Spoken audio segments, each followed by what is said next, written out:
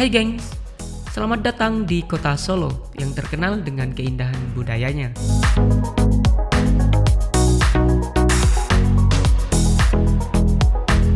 Namun belakangan ini, Solo telah menjadi saksi perubahan yang signifikan dalam sistem transportasinya nih gengs.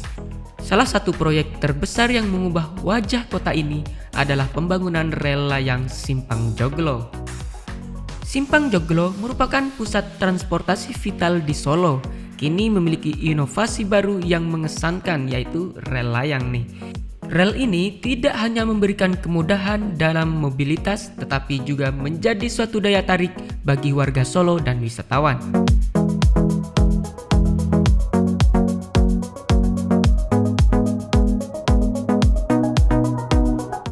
Simpang Joglo bukan hanya infrastruktur baru, tetapi juga simbol perubahan positif.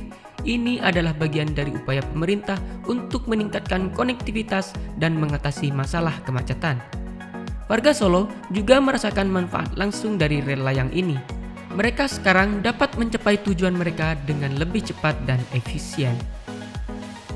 Namun, di balik segala manfaat ini, proyek ini juga menghadapi tantangan nih, geng. Apakah pembangunan ini benar-benar membawa perubahan positif? Let's go! Meskipun di mata banyak orang, rel layang ini adalah sebuah prestasi, proses pembangunan tidak selalu berjalan dengan mulus. Ada tantangan teknis dan logistik yang dihadapi selama konstruksi. Ahli teknik mengatakan bahwa kami harus mengatasi berbagai rintangan teknis, terutama ketika pembangunan rel layang ini di tengah kota dan padat penduduk. Tapi hasilnya sepadan dengan usaha kami. Tentu tidak semua orang setuju dengan proyek ini. Sejumlah warga mengungkapkan keprihatinan mereka tentang dampak lingkungan, pembebasan lahan, dan kenaikan harga properti di sekitar rel layang.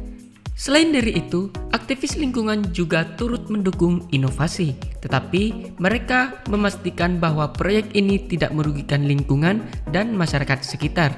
Kami berharap pemerintah dapat lebih transparan dalam mengelola proyek-proyek besar seperti ini.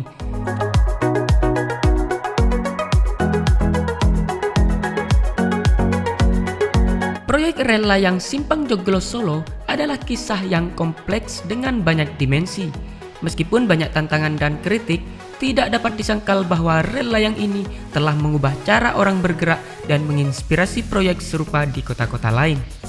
Dengan adanya rel layang ini, Solo terus bertransformasi menjadi kota modern yang berwawasan masa depan. Suatu kisah perubahan yang masih terus berkembang dan menantang.